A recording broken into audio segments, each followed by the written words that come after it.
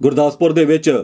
ਆਜ਼ਾਦੀ ਦਿਵਸ ਨੂੰ ਮੁੱਖ ਰੱਖਦਿਆਂ ਪੈਂਥਰ ਡਿਵੀਜ਼ਨ ਦੇ ਵੱਲੋਂ ਇੱਕ ਮਿਲਟਰੀ ਪਾਈਪ ਬੈਂਡ ਡਿਸਪਲੇ ਦਾ ਆਯੋਜਨ ਕੀਤਾ ਗਿਆ। ਇਸ ਆਯੋਜਨ ਦੇ ਵਿੱਚ deputy commissioner Amit Kumar, military commander Narinder Chirag ਸਹਿਤ ਹੋਰ ਅਧਿਕਾਰੀਆਂ ਨੇ ਵੀ ਹਿੱਸਾ ਲਿਆ। ਮਿਲਟਰੀ ਬੈਂਡ ਨੇ ਕਦਮ ਕਦਮ ਬੜਾਏ ਜਾ ਔਰ ਸਾਰੇ ਜਹਾਂ ਸੇ ਅੱਛਾ ਜੈਸੀ ਆਕਰਸ਼ਕ ਧੁਨਾਂ ਦੇ ਨਾਲ ਬਦਲਦੀ ਪਰਫਾਰਮੈਂਸ ਦੇ ਵਿੱਚ ਮਾਰਚ ਵੀ ਕੀਤਾ। ਦੂਜੇ ਪਾਸੇ ਇਸ ਮੌਕੇ ਤੇ ਵੱਖ-ਵੱਖ ਸਕੂਲਾਂ ਦੇ ਵਿੱਚੋਂ ਆਏ ਬੱਚਿਆਂ ਨੇ ਵੀ ਇਸ ਪਾਈਪ ਬੈਂਡ ਦਾ ਆਨੰਦ ਮਾਣਿਆ आप लोगों के सदा साथ में रहती है और 15 अगस्त के इस दिन हमें लगता है कि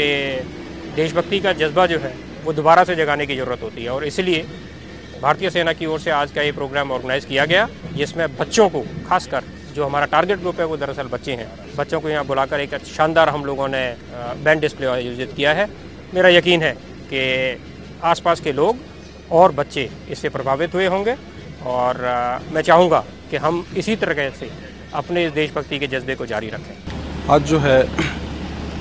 बैंड डिस्प्ले का जो कार्यक्रम आर्मी की तरफ़ से रखा गया था आ, इसका पार्ट बनने पे मुझे बहुत ही गौरव महसूस हो रहा है। बच्चों के उपस्थिति में जो बैंड डिस्प्ले किया गया बच्चों ने बहुत इन्जॉय किया और हमारी जो है सारी जो है जिला प्रशासन और अध्यापकगण ने भी इसको बहुत ही इन्जॉय किया।